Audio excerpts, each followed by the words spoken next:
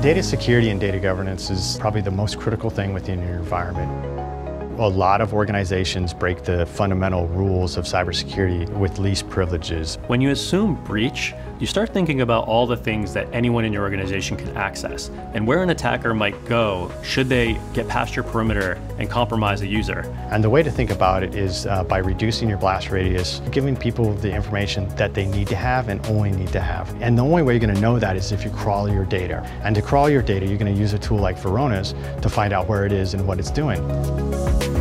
Varonis and ePlus have a very similar philosophy on data security and taking a data first approach, working from the thing that attackers are most after, which is data, outward, and building out a robust security program with a little bit of an untraditional mindset.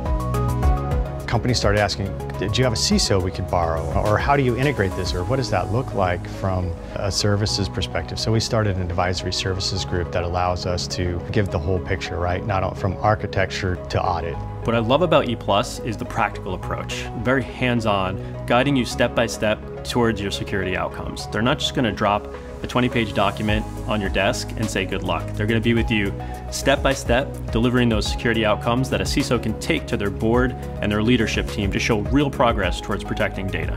So as we go through and, and we do that Varonis crawl across their environment and understanding where their data is, what's sensitive, what's not sensitive, and where it's going, and that should have least privileged, and then we can actually take that back to the board by saying, hey, I've qualified and quantified the risk of my data in the environment, and this is where we sit today. So I can actually literally step them up from maturity level one to maturity level five by just setting up that simple risk framework and then applying it to my data security as I move forward.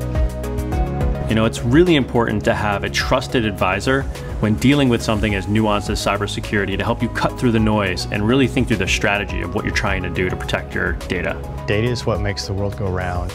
And at the end of the day, if you have a robust data governance program with a good data security tool, you're probably in better shape than most organizations in the world.